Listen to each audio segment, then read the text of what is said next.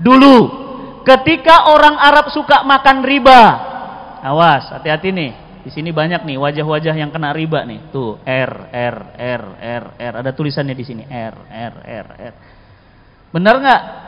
Beli motor pakai apa sekarang? Cicil. Cicilnya ke mana? Leasing. Itu apa? Riba.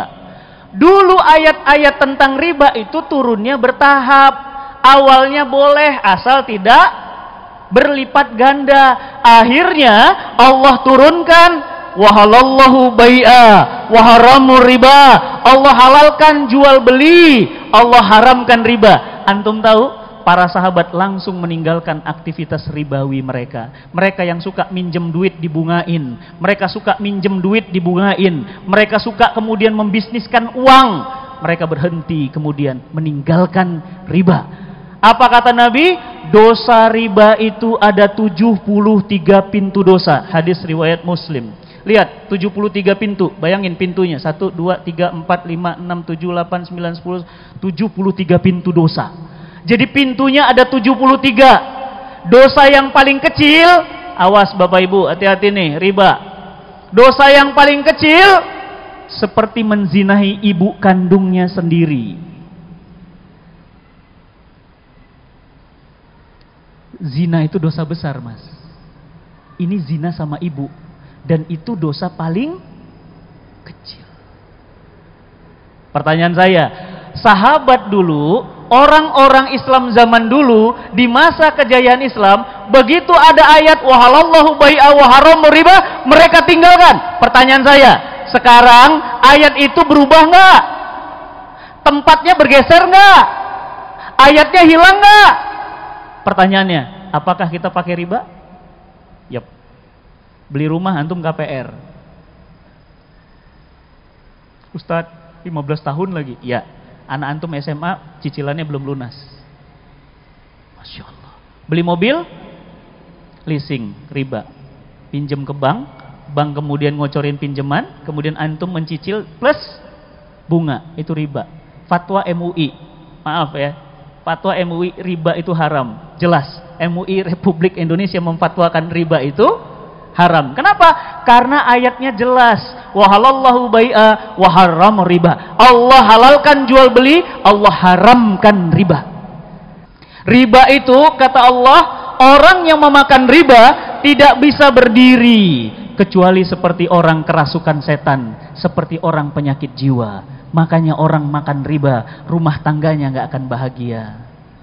Ibadahnya nggak akan khusyuk diterima doa-doanya tidak akan diijabah. Apa kata Nabi sallallahu alaihi wasallam?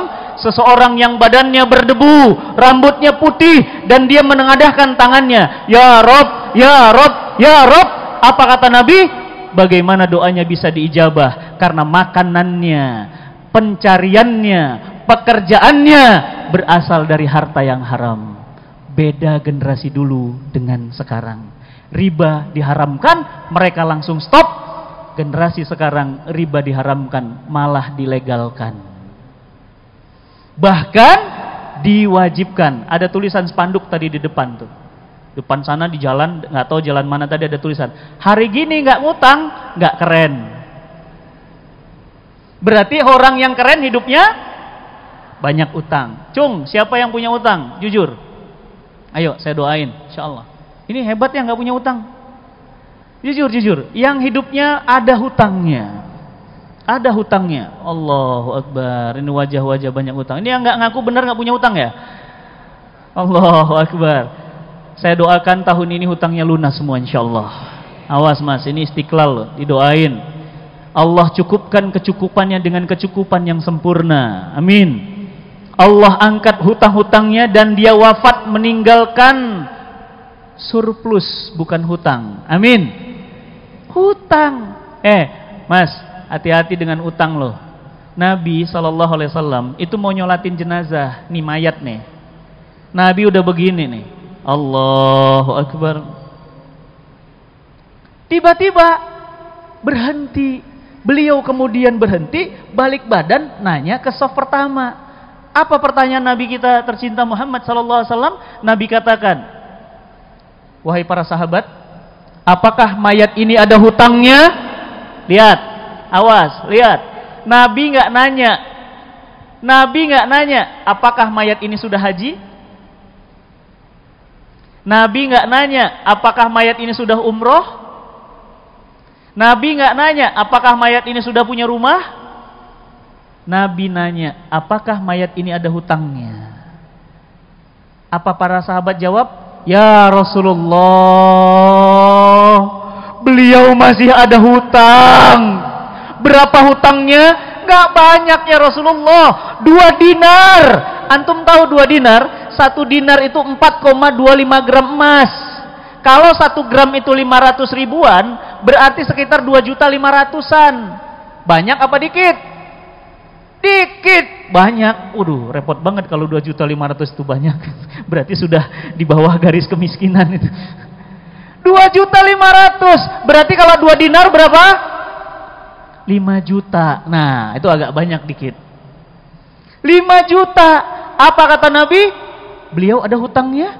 Ada ya Rasulullah. Berapa? Wajah Nabi merah, mata beliau marah dan kata beliau, beliau ada hutangnya? Ada. Berapa hutangnya? Dua dinar ya Rasulullah. Maka apa kata Nabi? Sallallahu alaihi wasallam. Solatkanlah bagimu. Solatkanlah bagimu. Nabi pulang, nggak mau nyolatin jenazah yang ada hutangnya. Awas, yang punya hutang. Antum malam ini meninggal dunia, meninggalkan hutang dan hutangnya tidak lunas terbayar, menjadi beban istrinya, menjadi beban anaknya, menjadi beban ayahnya, menjadi beban keluarganya dan ruhnya terkatung-katung antara bumi dan langit tidak diterima Allah Subhanahu wa taala. Jangan hobi hutang.